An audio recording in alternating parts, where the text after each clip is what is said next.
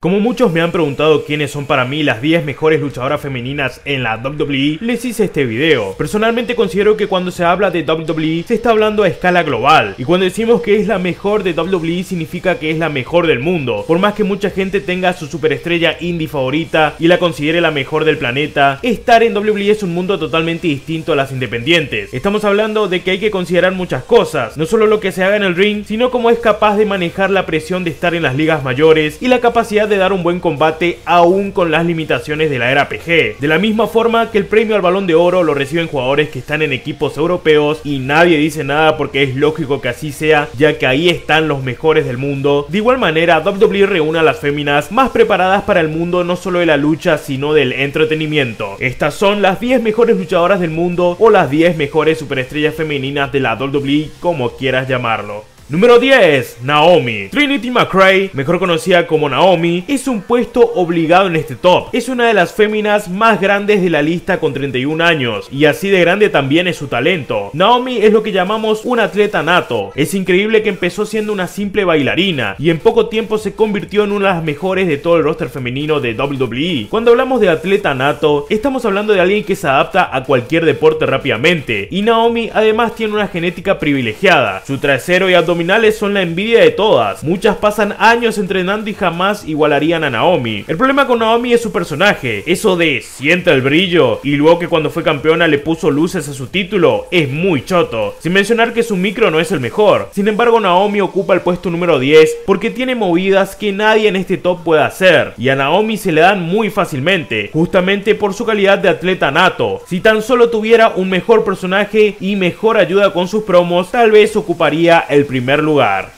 Número 9. Tony Storm. Tony Rosal es una jovencita australiana de 23 años que tiene mucho futuro por delante. Ha demostrado un gran talento en las indies, no solo en el ring, sino en la química que tiene con la gente. Muchos pensarán que seguro tiene que ver el hecho de que es una chica bastante bonita, pero créanme que eso no lo es todo. Además de que la belleza nada tiene que ver con el carisma, y Tony sin dudas tiene carisma y de sobra. A simple vista se ve que puede ser buena en una faceta face como en una faceta heel, aunque su capacidad de aguantar la presión de una audiencia tan podrida como la fanaticada de la WWE está un poco en duda, ya que hace poco había cerrado sus redes sociales solo por unas filtraciones. Tony debe estar preparada para todo eso, porque hoy en día la aman, pero el día de mañana un mal buqueo puede hacer que le den el abucheo más grande de su vida, y esto es parte del show. Si Tony está en el puesto número 10 y no más abajo, es porque a pesar de su calidad en el ring, no ha demostrado todo su potencial, incluso en NXT o NXT UK, donde tiene las libertades necesarias para hacerlo. Quizás sean los nervios de estar en WWE pero lo cierto es que tiene todo para tener un gran futuro como superestrella.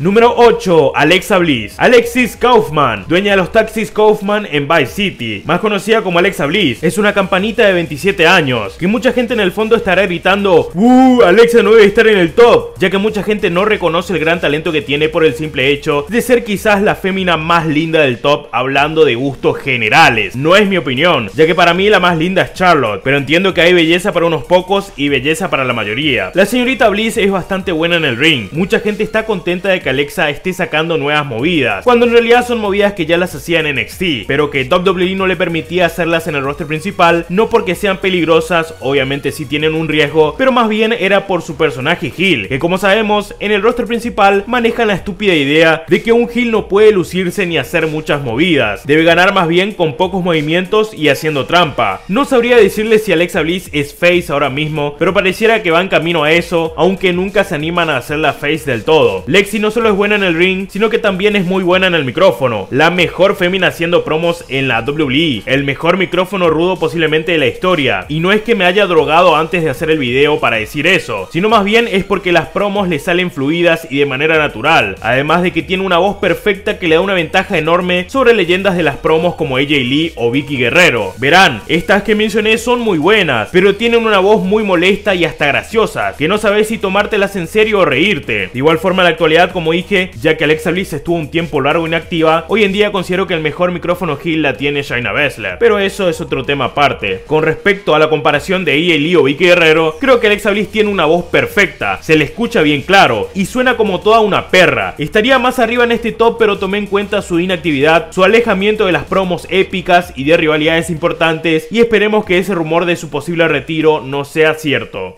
Número 7. Real Replay. Demi Bennett es una australiana de apenas 22 añitos, o sea que es una nena, la más joven del top, a pesar de que tenga apariencia de que podría sacarte la mierda. Fue la primera campeona femenina de NXT UK y su reinado tal vez hubiese durado más si a Tony Storm no le hubiesen afectado tanto sus filtraciones, ya que como sabemos WWE le regaló el título a Tony Storm, como un mensaje de que la compañía iba a estar de su lado en las buenas y en las malas. Mucha gente idiota no sabe separar la realidad de su fanatismo y creen que por eso yo digo que Tony es mala luchadora. Para nada es así, Tony es buenísima. Sin embargo, no deja de ser cierto que ese campeonato se lo regalaron por razones ajenas al wrestling. Volviendo a Real Replay, estamos hablando de una luchadora bastante alta cuando se trata de féminas. Tiene un talento enorme tanto en el ring como a la hora de hacer promos. Se ve como una gil natural, de esas que no te la imaginas en otro papel que no sea el de una completa perra. Algunos dicen que es la Triple H de las féminas, y este tema de las comparaciones tienen sentido cuando sí tiene lógica el comparar, y parece que el juego se lo tomó de la misma forma, ya que Real Replay ha hecho promos con palabras que son clásicas del Rey de Reyes. No solo eso, sino llevando chaquetas de cuero muy similares y recordamos que Triple H está a cargo tanto de NXT como de NXT UK,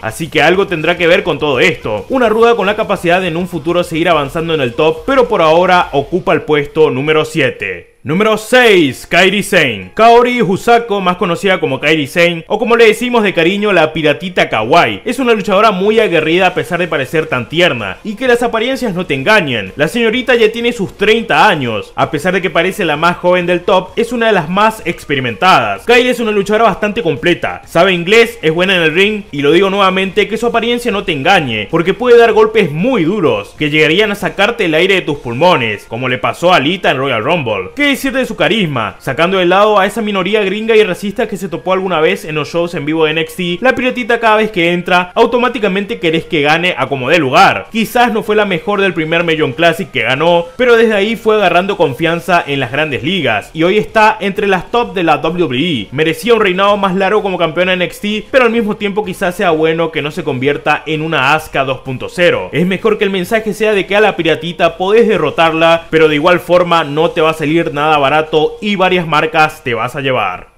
Número 5. Io Shirai. Masami Odate es una japonesa de 28 años, no sé si sea correcto decirle novata por la enorme carrera que tiene en sus espaldas, pero es correcto porque ir a WWE, como dije, es un mundo totalmente distinto. Sin embargo, Io Shirai es la novata que más fuerte ha pisado en la empresa. Ella actualmente hizo muy poco, casi nada, pero lo poco que hizo fue suficiente para convertirse en la quinta mejor del mundo. Es decir, no luchó por el campeonato femenino NXT, ni por el campeonato femenino NXT UK.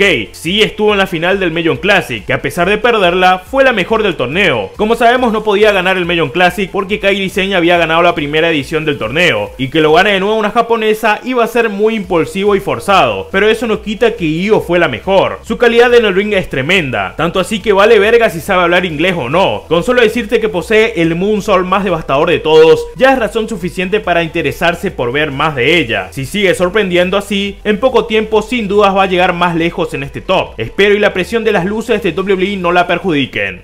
Número 4. Asuka. Kanako Urai es la luchadora más experimentada del top, no solo por sus 37 años, sino porque lleva 15 años luchando. Algunos que están viendo este video ni nacían aún cuando Asuka ya estaba pateando traseros. Siendo sinceros, Asuka nunca fue de mis favoritas y aún así le reconozco su gran reinado como campeona de NXT y todo el talento que tiene, por eso ocupa este cuarto lugar. Su racha luego en el roster principal fue muy forzada, tanto que hasta daba asco. Sin embargo, la japonesa de igual forma se las arreglaba para dar buenas luchas, incluso con el resultado cantado. Es una luchadora que se adaptó muy rápido tanto a NXT como al roster principal, y es fundamental que WWE la cuide y la tenga por más tiempo, porque será una gran guía para el resto de las féminas. Su experiencia y calidad en el ring están a la vista. Su personaje sí es medio ridículo, diría algo payaso, pero tal vez sea un halago para ella ya que le gustan los payasos, y se pintaba como una payasa en las indies. Número 3. Ember Moon. Adrian Reese, de 30 años, es la más infravalorada de la WWE, y es la única razón por la cual no ocupa el primer o segundo lugar, porque Ember es de otro nivel, una luchadora excelente, la que tenía que quitarle la racha a Asuka en NXT para evitar todo lo forzada que se volvió después. Sin embargo, a pesar de todo su talento, parece que ni Triple H ni Vince McMahon se han convencido totalmente con ella. No solo no le confiaron la racha de Asuka, sino que su reinado como campeona de NXT fue el segundo más corto de la historia. Ember es de esas luchadoras que no solo se lucen bien, sino que saben hacer lucir bien a las demás, por más bultas que sean. Una victoria de ella en el Royal Rumble de este año hubiese sido genial, buscando tal vez una tan ansiada revancha contra Asuka y en WrestleMania. Desgraciadamente no solo la WWE es predecible y prefiere apoyar la moda del momento, sino que ya de por sí Ember Moon no ha tenido suerte todavía, y tendrá que seguir demostrando lo buena que es hasta que al fin los jefes la noten.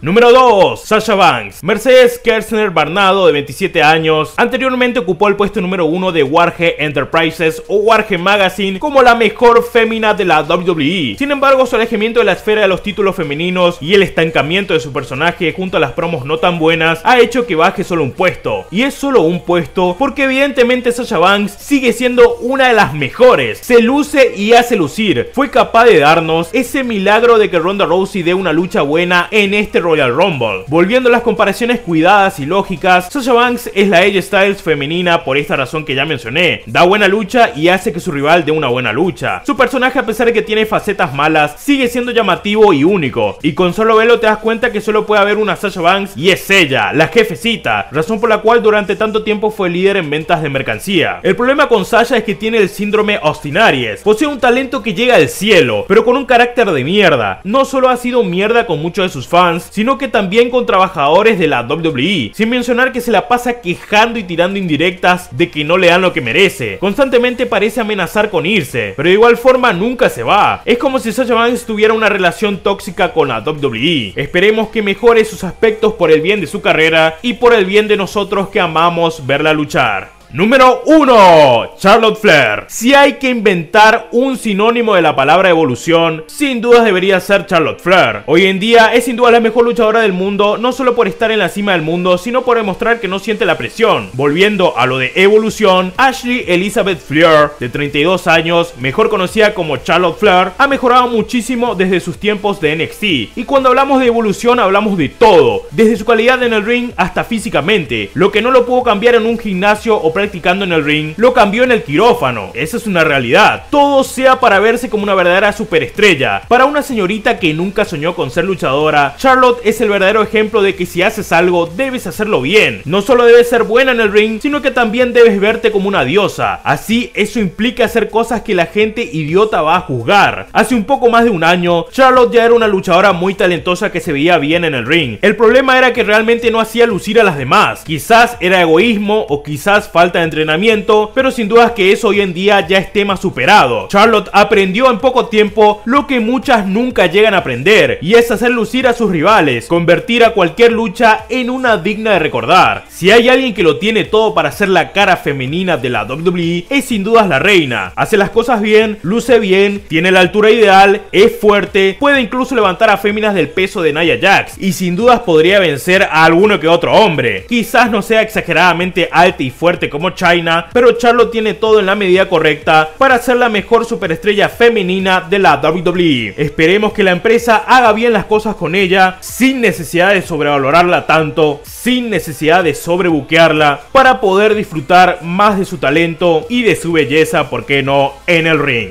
Esto fue todo, si te gustó dale like, comenta y comparte, no olvides suscribirte y seguirme en todas mis redes sociales. Yo soy Arcadito, nos vemos en otro video y recuerda... No lo intentes en casa. DJ Guachiturro. Este es el pasito que le gustan los turros. Baila pegadito a la pared. Dale hasta abajo si te caes, yo te subo. Pero pegadito a la pared. Toma, toma. Se le dicen la guachiturra. Llega a su casa cuando sale el sol.